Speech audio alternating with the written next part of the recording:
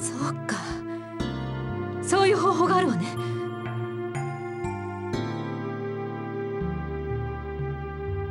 この学校の中庭の地下に強力な魔力を持つ施設があるの。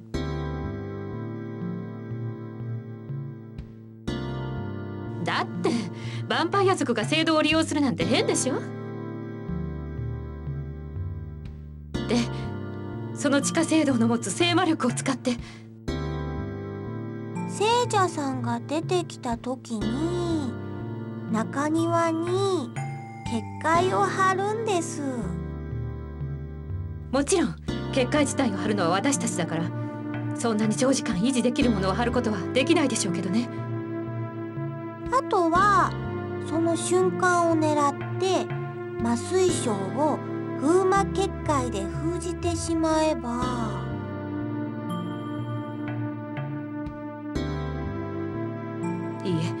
難しいわよ。あれだけの力を持っている麻酔症が即席の結界程度で封じられると思う？麻酔症を封じるにはよほど強力な結界場が必要です。幸いそれにも九段の地下制度が使えると思うけど。地上と地下とでは連絡を取り合うことができないからよほどタイミングに気をつけないと失敗する可能性は大きいわね。あらずいぶん気安く言うじゃない？もちろんあなたも協力するのよキリュウ君相手はあなたを指名してたじゃない。ここはおびき寄せの餌役になってもらわないと。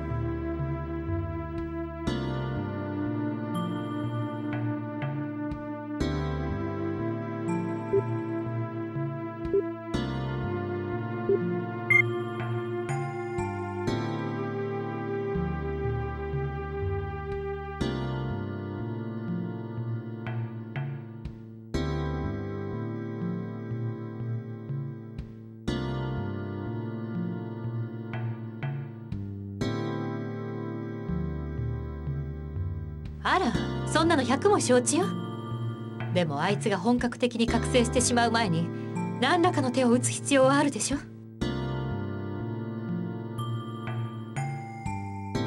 だったらグズグズ言ってる暇などないことぐらいお前にでもわかるだろう。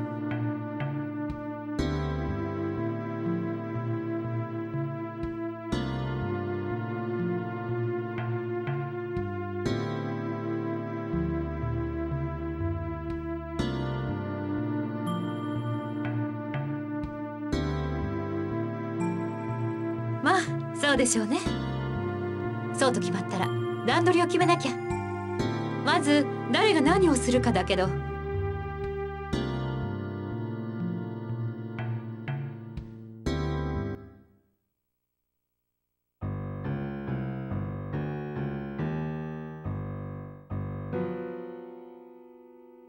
一つは怪物を捕らえる結界を準備すること。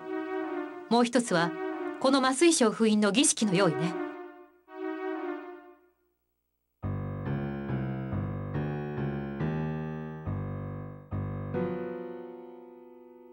麻酔症封印の儀式は私が地下聖堂で行います。いいかしら？あ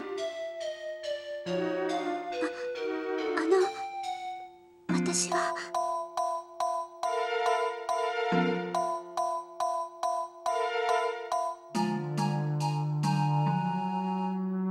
ゆうきちゃんには他に頼みたいことがあるの。お願いできるかしら？はいやります兄を助けることができるなら。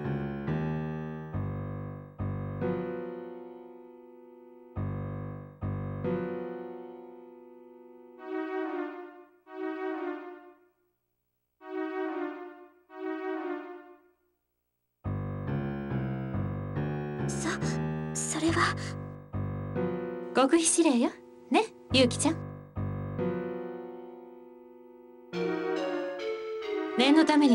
と予防線張っておこうと思ってね。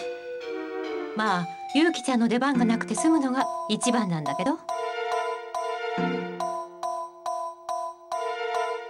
時間が来るまであなたの出番はないから待機しててもらえばいいんだけど。何せ怪物の目的はあなただし。時間になるまで誰かと一緒にいた方がいいわね。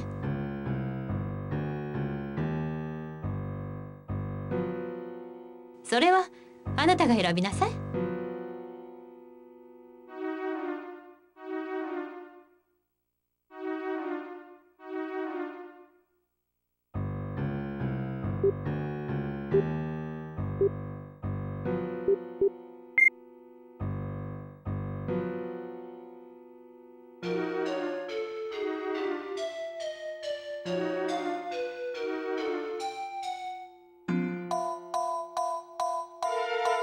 勝手にしろさ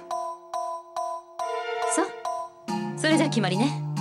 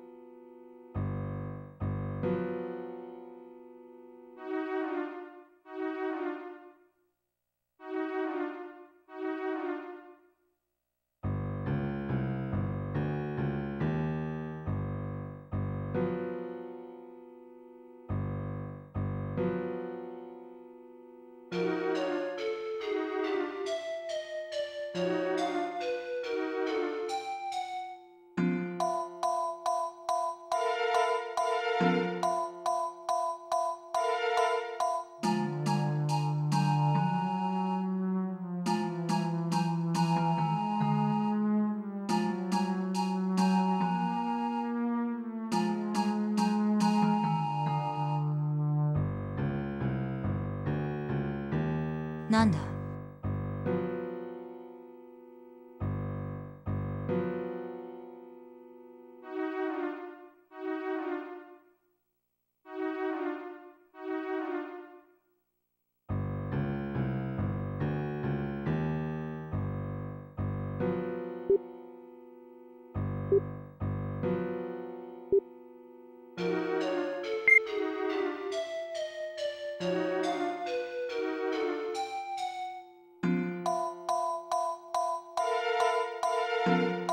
説明は聞いただろ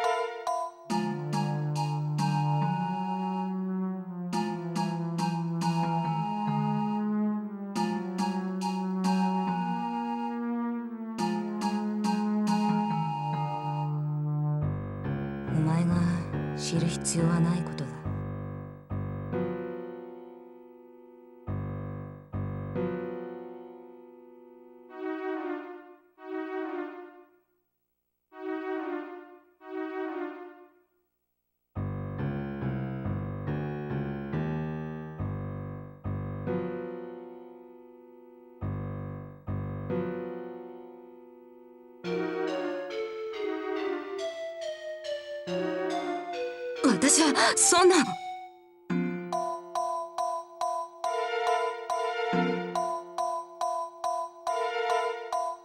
そうだな。確かにそれはお前の言う通りだ。私が悪かった。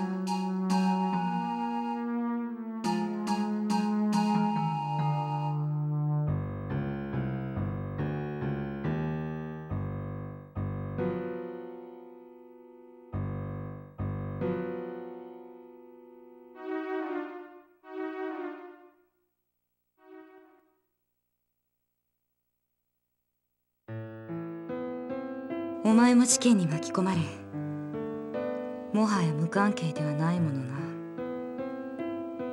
お前にも知る権利はある。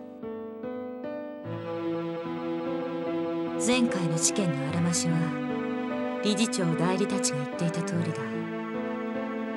だが二人が言っていないこともある。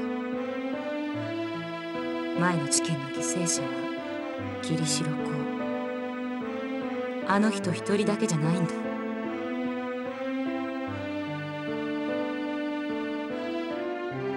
あの事件の犠牲者は二人。桐代子そしてもう一人は。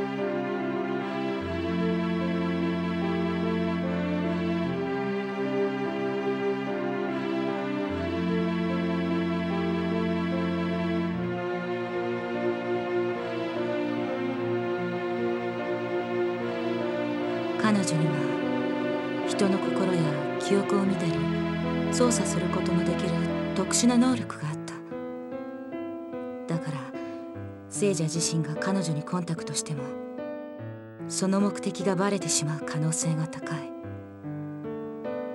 だからあいつは私を利用したんだ。あいつは聖者は彼女が友達の私の心は決して覗かないことを知ってたんだ。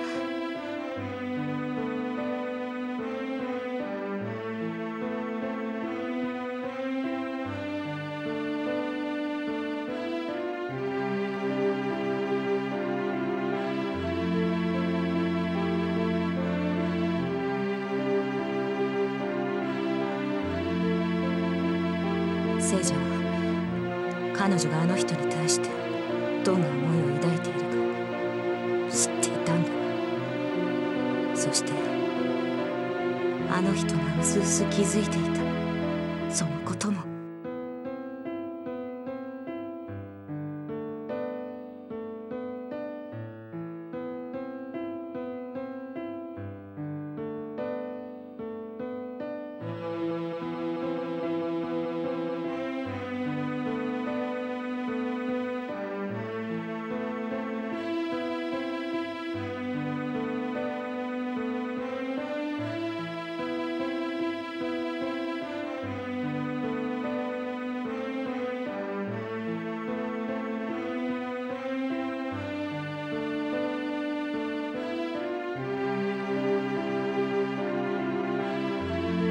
今思え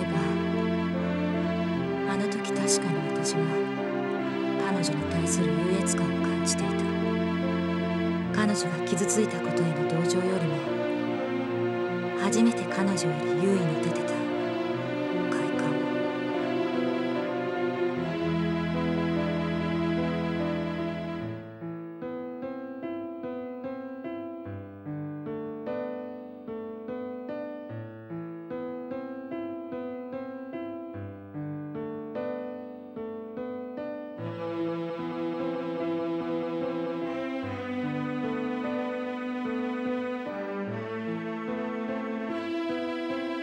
聖者の一撃はあの人もろとも怪物を捕らえていた。奴は人質の救出よりも怪物の撃退を優先したんだ。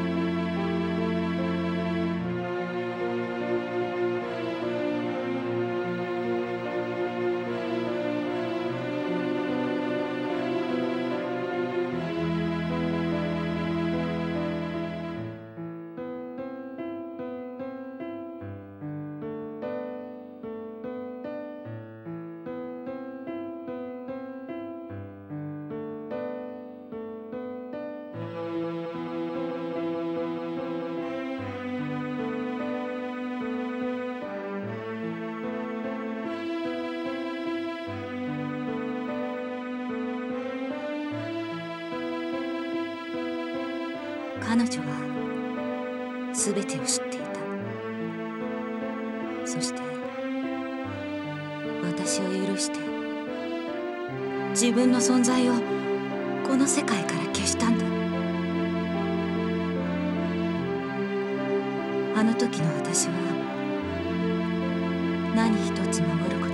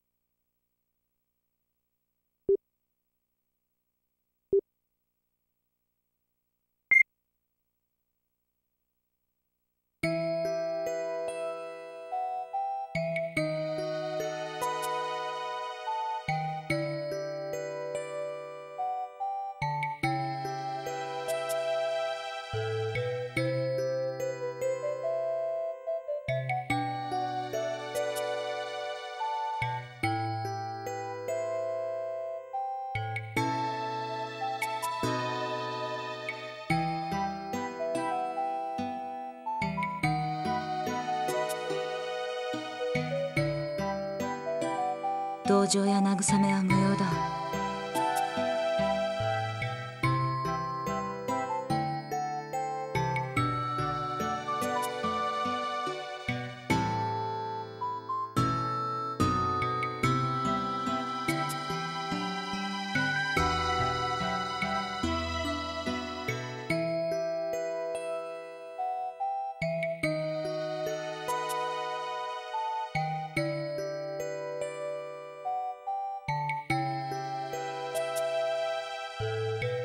っていたよりも優しいんだな。